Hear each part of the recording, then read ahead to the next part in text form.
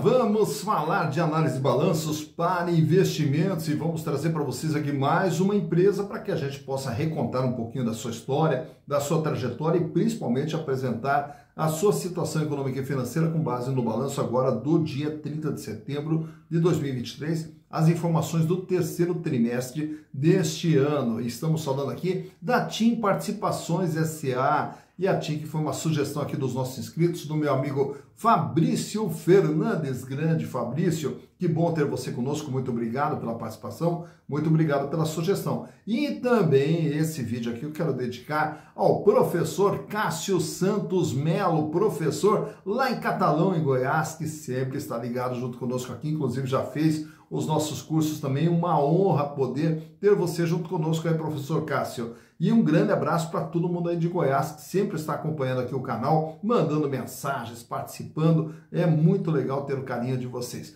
Mas caso também vocês queiram outras empresas, é fácil, basta entrar aqui, ó. Canal Silas Negro manda a sua sugestão, aproveita, faça inscrição, dá o like e venha junto conosco construir e repartir conhecimentos. E a história da TIM Participações ela começa lá em 1998. E lá no finalzinho da década de 90, nós começamos a ter toda uma leva de privatizações em diversos setores no Brasil. E um dos setores que foi privatizado foi justamente o setor de telecom e o setor de telecom, na época a internet ainda dando os primeiros passos, aí chegando ali o telefone celular, que quando o telefone celular ainda chega aqueles aparelhos grandes, gigantes ali, basicamente apenas para fazer ligações, enfim, era todo o começo ali de uma nova era, né? E aí o que, que acontece? Já é, para participar né, de todo esse processo de privatização, a Telecom Itália Mobile, ela se estabelece aqui no Brasil e já se prepara ali para participar também desses processos de privatização. E aí, na época, todo o sistema de telecom aqui no Brasil ele foi praticamente dividido em lotes, né? E foram feitas as privatizações e os leilões, né? Através desses lotes. E a Telecom Itália Mobile, junto com também a Organizações Globo e o Bradesco, que formaram um consórcio chamado Maxitel, eles adquiriram toda a parte de telefonia celular do Sul e do Nordeste. Então nós tínhamos ali a Telefônica Celular Sul e a Telefônica Celular Nordeste, que foram arrematados justamente por essa união entre a Telecom é, Mobile, Itália Mobile e esse é, consórcio Maxitel. E aí, na sequência, já no ano de 2000, a TIM compra parte da Maxitel e fica praticamente sozinha. E na sequência, o que ele faz? Faz a centralização de todas as operações Sul e Nordeste e transforma tudo em TIM Participações. E a partir daí começa todo o seu processo de expansão aqui no Brasil. Tanto que já no ano de 2007 passa a operar, a operar também com a telefonia fixa. Até por quê? Porque a telefonia fixa não fazia parte desse bloco. E aí eles entram também na telefonia fixa. E para ampliar a sua participação na telefonia fixa, adquire uma empresa que havia surgido na época, que era a Interlig. E na sequência, já em 2011, adquire mais uma empresa que é a AES Atmos. E a partir então a TIM começa a crescer. E aí praticamente o mercado brasileiro ele ficou dividido entre a TIM, a Telefônica, que é a Vivo, a Claro e a Oi. A Oi que ela tinha também uma presença marcante dentro de todo o território nacional. Porém, com a crise que se instalou na Oi e aí todo o processo de recuperação judicial e o processo de venda de ativos até para saldar dívidas, Aí nós tivemos o quê? O, uma, praticamente um leilão ali, uma divisão da O Imóvel em três fatias, sendo que uma das fatias ficou com a Claro, outra ficou com a Vivo e a outra parte ficou com a TIM. Então já na sequência a TIM também adquire é, parte da telefonia móvel da Oi. E fora isso, a TIM vem se espalhando pelo Brasil, inclusive aí com arrendamentos que a gente vai ver no balanço aí, a parte de arrendamento de torres para ampliar ainda mais mais a sua participação e uma empresa extremamente inovadora é sempre lançando é, novos uh, serviços é, justamente para tentar crescer no mercado, que apesar de poucos concorrentes, é um mercado extremamente competitivo. Mas para que possamos entender como que está a situação da TIM nesse momento aqui, trouxemos para vocês aqui os balanços de 2019, 2020, 2021, 2022 e também o balanço do dia 30 de setembro de 2023. E através dos números vamos entender o que é a TIM Participações SA. Então, vamos aos números. Então aqui estamos com as demonstrações contábeis da TIM Participações SA, TIM Participações, que é uma das empresas mais relevantes aqui no setor de telecom no Brasil, e para que possamos entender como que vem sendo o desempenho da empresa ao longo de todo esse período, trouxe para vocês toda uma base histórica desde 2019, para quê? Justamente para poder fazer uma comparação, o que, que vem acontecendo com a empresa ao longo do período até chegar agora no dia 30 de setembro de 2023. Portanto, vamos começar lá pelo ano de 2019, quando a empresa registrava em seu patrimônio 39 bilhões de reais. E desse valor aqui, nós temos 17 bilhões 612, 44,2% de sua representatividade registrada no imobilizado, que é toda a estrutura de funcionamento da empresa, todo o chamado capital fixo da empresa. E a parte de cima é o capital de giro, são os recursos que a empresa utiliza no seu dia a dia, justamente para gerar receita e gerar seus resultados. E esse capital de giro começa lá em 2019 com 8 bilhões 418 milhões. A empresa fecha 2019 com 2 bilhões e 900 em dinheiro, caixa, banco, aplicação, 3 bilhões e 100 em contas a receber e os estoques aqui mais para uso e consumo para operação da empresa. E nos outros créditos nós temos o quê? A maior, a maior parte desse valor aqui como é, impostos a recuperar. Já no ano de 2020, a empresa aumenta um pouquinho seu tamanho para 41 bilhões e 600 e desse valor aqui nós temos uma elevação no capital de giro, no ativo circulante, que agora fecha com 10 bilhões 411. O volume de dinheiro em caixa aumenta de 2 bilhões e 900 para 4 bilhões e 600 e também temos aqui uma pequena queda no conto receber que fecha com 3 bilhões e 51. Chegando já em 2021, ela dá um salto, ela vai para 49 bilhões 819 milhões de reais. E desse valor aqui nós temos 15 bilhões 398 no capital de giro, culminando aqui com um valor em caixa de 9 bilhões 796, 3 bilhões 66 em contas a receber. Chega em 2022, nós temos agora a empresa com 56 bilhões 408.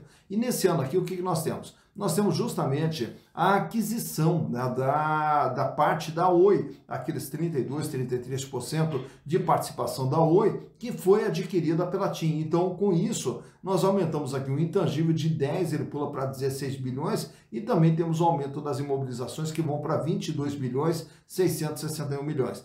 Com esses investimentos todos, a empresa o que, que ela faz? Ela acaba sacrificando um pouquinho seu capital de giro, que cai de 15,398 para 10,364, diminuindo o volume de dinheiro em caixa para 4 bilhões 739. Aumenta aqui o contas a receber, fechando em 3,421. Nove meses depois, agora em setembro, a empresa é de 55 bilhões 972 milhões de reais. É o tamanho da TIM, é tudo aquilo que está dentro do seu patrimônio. E o capital de giro apresenta uma pequena elevação aqui, fechando agora com 10 bilhões 836, 4 bilhões e 400 é a posição de caixa da empresa e 3 bilhões e 580 ao contas a receber. Então todo esse crescimento da TIM, naturalmente, que precisa de recursos. E os recursos eles sempre são originados de duas fontes todo o dinheiro que está dentro de uma empresa, ou ele vem do capital próprio, que é o patrimônio líquido, ou de capital de terceiros, que é o total do endividamento. E o total do endividamento lá em 2019 era de 17 bilhões 934 milhões, equivalente a 45% de tudo que a empresa tinha. Então ela trabalhava com 55% de capital próprio e 45% de capital de terceiros. No ano de 2020, o endividamento sobe nominalmente para 18,471, porém o peso da dívida um pouquinho menor, 44,3%. Chega a 2021, a dívida sobe para 24 bilhões 712 e aí agora ela passa a representar 49,6% do patrimônio. Então esse crescimento que vimos há pouco aqui no, no ativo da empresa, ele foi alavancado com capital de terceiros através de financiamentos de longo prazo, como aparece aqui nesse 14 bilhões e 100. Chega no ano de 2022, com os pagamentos realizados para a Oi, né, em função da aquisição da participação da Oi, o endividamento sobe para 31 bilhões e 11 milhões de reais, 55%. E aí a empresa busca mais financiamentos de longo prazo justamente para fazer a quitação. Então, além do capital de giro utilizado na aquisição da Oi, também foi utilizado aqui capitais de terceiros. Nove meses depois, agora em setembro, a dívida recua para 30,398 com 54,3%. Portanto, a dívida vem com 45, 44, 49, 55 e agora começa a dar um sinal de queda aqui com 54,3%. Todo esse crescimento da TIM, naturalmente, é para gerar receitas. E lá em 2019 ela gerou 17 bilhões 377 milhões de faturamento, faturamento praticamente estável em 2020 com 17 2007, em 2021 foi para 18 bilhões 58, em 2022 para 21 530 e agora até setembro acumula 17,558, nos dando uma projeção de faturamento em torno de 23 a 24 bilhões para 2023. Mais importante do que esse número é justamente aqui, o resultado líquido que a empresa produziu, que é o seu lucro. 3 bilhões 860 o lucro lá em 2019, 1 bilhão e 800 em 2020, 2 bilhões e 900 foi o lucro em 2021, 1 bilhão 670 o lucro em 2022 e agora até setembro já acumula 1 bilhão 754 milhões de reais, é, o que também nos dá uma projeção para 12 meses em torno de 23, é, de, de 2 bilhões e 300 a 2 bilhões e 400 de lucro para 2023, que é a expectativa gerada aqui pela companhia. Naturalmente que também temos que observar essa margem aqui, que daqui a pouquinho vamos ver nos gráficos, 22,2, 10,7, 16,4, cai para 7,8 e agora esse ano vem trabalhando com uma margem líquida de 10%. De tudo aquilo que ela fatura, sobra líquido e limpo para a empresa 10%. Sobre a situação financeira da, da, da TIM, nós temos aqui nesses gráficos aqui a liquidez geral, que é o primeiro gráfico, que mostra a capacidade de pagamento nas dívidas de curto, médio e longo prazo. E o índice sai com 72 centavos, vai para 79, permanece estável em 2021 com 78 e aí recua para 51 e depois em setembro fecha com 53 centavos. Para cada um real de dívida que ela terá que pagar no curto, médio, longo prazo, ela dispõe de apenas 53 centavos. Quer dizer, não tem recursos para fazer frente a toda a sua dívida. Porém, como grande parte da dívida é de longo prazo, então nós vamos olhar a liquidez corrente, que é o dia a dia da empresa. E esse número daí é bem melhor. Ele sai com 1,86 lá em 2019, sobe para 2,53, sobe para 3,92 e aí com o pagamento realizado para Oi, essa capacidade de pagamento ela, e a folga financeira cai para 1,91 e agora recupera um pouquinho, fechando com 2,06 para cada um real de dívida que viesse ali no dia a dia, a TIM dispõe de R$ 2,06. Paga, sobra, tranquila a situação financeira da empresa. Já olhando o endividamento nesse quadro, vamos ver aqui o tamanho e o comportamento da dívida da TIM, que ela sai com 45%, aí cai um pouquinho para 44,3%, aí depois ela dispara para 49,6%, para 55% praticamente, e agora esse mês de setembro de 2023 fecha com 54,3%. Isso quer dizer que de tudo aquilo que a empresa tem no seu patrimônio, ela deve 54,3%. Já nesse outro quadro aqui, temos alguns indicadores de rentabilidade, a começar pela margem líquida que vimos há pouco na DRE. Ela sai com 22,2, cai para 10,7, sobe para 16,4, cai para 7,8 e agora esse ano vem trabalhando com praticamente 10% de margem líquida de tudo aquilo que ela gera de receita, pagando custos, despesas operacionais, é, resultado financeiro e os impostos sobra ainda líquido e limpo para a empresa 10%. Já o gráfico do meio é a rentabilidade do ativo que mede o ganho que a empresa tem em relação a tudo aquilo que foi investido. E sai com 9,7, cai para 4,4, sobe para 5,9 e agora em 2022 fechou com praticamente 3%. E o terceiro gráfico, que é o relacionado aos acionistas. Quanto que os acionistas estão ganhando por ter as ações da TIM? Lá em 2019 ganharam 17,6%. Em 2020 praticamente 8%, em 2021 11,8% e no ano de 2022 fecharam com 6,6% de ganho. E ao falarmos em acionistas, nesse quadro aqui temos também alguns indicadores relacionados às ações. Uma ação da TIM vale patrimonialmente R$ 10,56. Então, se pegarmos todo o patrimônio e fôssemos distribuir entre os acionistas, caberia a cada ação R$ 10,56. Porém, o valor de mercado hoje, para você comprar uma ação da TIM, você vai pagar R$ 17,93 com base na cotação do último dia 11 de dezembro, quando da gravação desse vídeo. Isso nos mostra que há um ágio na venda das ações da empresa de 70%, medido pelo PVP, preço por valor patrimonial, que fechou em 1,70. Lucro por ação nos últimos 12 meses, 95 centavos, o que dá uma rentabilidade com base no valor de mercado de 5,30%. Dividendos por ação, até o presente momento, em 2023, ela já distribuiu 64 centavos a título de dividendos, o que dá um yield, um retorno de caixa de 4,61%. Lembrando que, na média, a TIM distribui 57,8% do seu lucro a título de dividendos. Relação preço barra lucro 18,87, isso quer dizer praticamente 19 anos para você ter, ter, o retorno dos seus investimentos através dos lucros gerados pela empresa.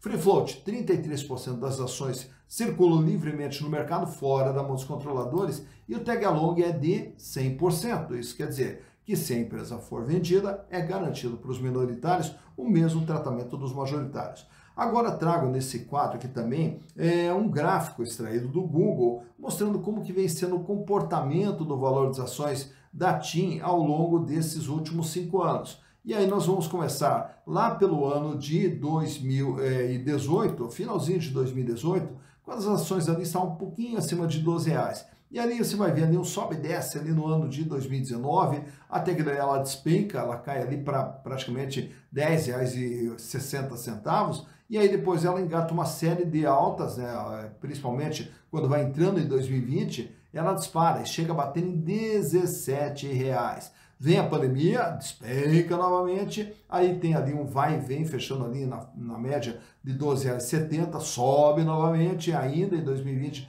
para 15,80 cai, enfim, uma, uma empresa que é, as ações elas vão sofrendo muitas é, variações ao longo do tempo, como você vai vendo ali através do gráfico. Em 2022, ela também começa ali a ameaçar um patamar de 14 reais, cai novamente, entra 2023 na faixa de 11 reais, e agora nesse finalzinho do gráfico você vai vendo ali toda uma escadinha que ela vai subindo, culminando com uma cotação na faixa de 17,90, 18 reais, agora no dia da gravação desse vídeo. Então por aqui você vê quando que as ações da TIM tiveram seu maior valor, quando que elas tiveram seu menor valor e como que vem se comportando o valor das ações da TIM Participações SA.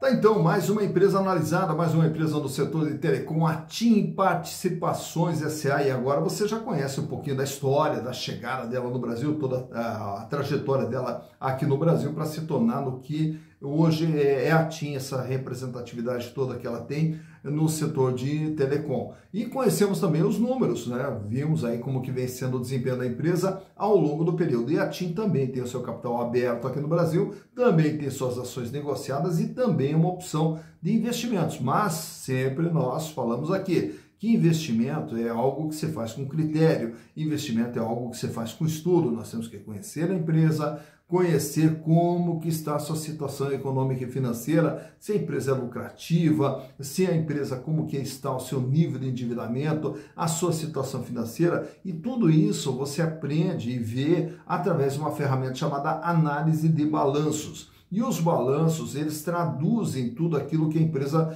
vem fazendo. E aí você, ao interpretar essas demonstrações contábeis, vai verificar se a empresa é boa, se não é boa, se ela vem melhorando, se não vem melhorando, aonde que ela melhora, aonde que ela piora. E também os demais índices fundamentalistas que nos orientam e nos auxiliam justamente na verificação se a empresa ela produz uma rentabilidade interessante para o acionista, como que ela é em termos de dividendos e qual é o preço da ação em relação àquilo que ela efetivamente vale em termos de patrimônio, até para sabermos se uma ação é cara ou se ela é barata, tudo isso nós fazemos através da análise balanço e dos indicadores fundamentalistas. E você pode aprender toda essa ferramenta através dos nossos cursos lá na plataforma Hotmart tanto o curso de análise de balanços quanto o curso de valuation.